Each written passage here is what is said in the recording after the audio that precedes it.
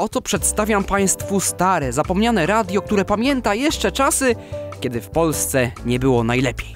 Jest to Unitra Diora Beskid. Ten konkretny egzemplarz zakupiłem za 25 zł na pewnym portalu aukcyjnym i postanowiłem, że sam go naprawię.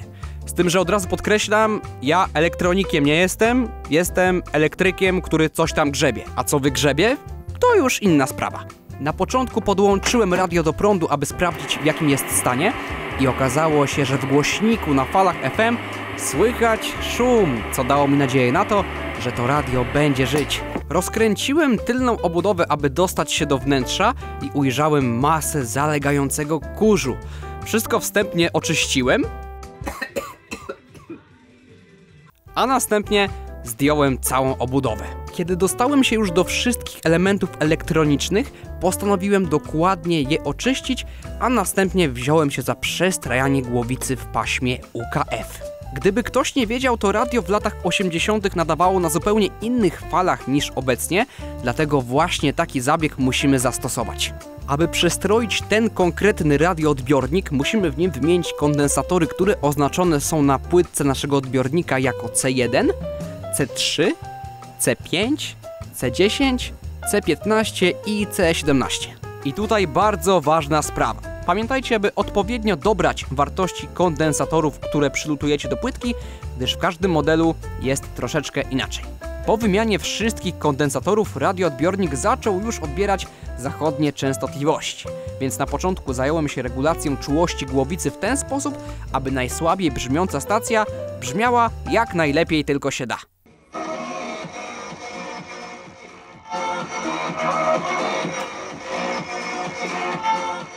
Po wyregulowaniu czułości głowicy zauważyłem, że niestety Beskid ma urwany plastik, którym można było sterować potencjometrem głośności. Zepsuty jest również włącznik zasilania oraz żarówka, która podświetlała skalę, jest spalona. Następnego dnia pojechałem na giełdę elektroniczną, aby znaleźć te części, jednak poza żarówkami nic więcej tam nie było. Próbowałem dorwać ten łącznik do tego potencjometru, ale niestety pan mi powiedział, że jakbym cofnął się 30 lat w czasie, to może i bym dorwał, ale teraz niestety nie ma. Spaloną żarówkę wymieniłem, a włącznik zasilania oraz plastikową część do regulacji głośności wziąłem z innego starego radia, które było jeszcze w gorszym stanie niż nasz Beskid. Niektórzy mnie pytają, Marcin, czy ty w ogóle kiedykolwiek śpisz? Więc odpowiadam, nie ma dnia, kiedy bym nie spał. No. Potem dokładnie przedmuchałem jeszcze całą elektronikę i upewniłem się, czy na pewno radio odbiera cały zakres UKF-u. Jeżeli chodzi o Warszawę, to pierwszą stacją powinno być radio wnet 87,8, a ostatnie radio Z 107,5 FM.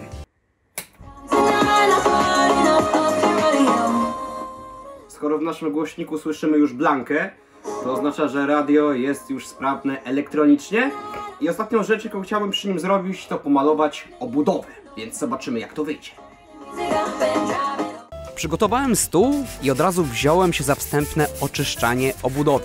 Na początku delikatnie przetarłem wszystko papierem ściernym, a następnie dla pewności użyłem jeszcze benzyny ekstrakcyjnej, tak aby farba dobrze się trzymała.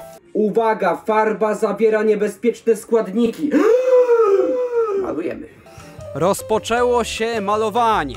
Trzeba przyznać, trwało to trochę czasu, ale czego nie robi się dla efektów.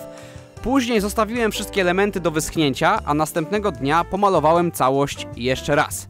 Jednak niestety tego nie nagrałem, bo nie byłem w stanie. Po wyschnięciu farby wystarczyło poskładać radio w całość i to wszystko. Jak słyszycie i widzicie, radio jest już całkowicie sprawne, więc moją naprawę uważam za zakończoną. 36. Po tylu pytaniach jesteśmy w stanie stwierdzić, że ktoś nam się podoba i możemy być z nim w związku. Taka nowa teoria, a my ją sprawdzimy. Iga Dudziuk, cześć, dzień dobry, zapraszam. A czy można być w związku z tym radiem? Skoro działa, to myślę, że na pewno.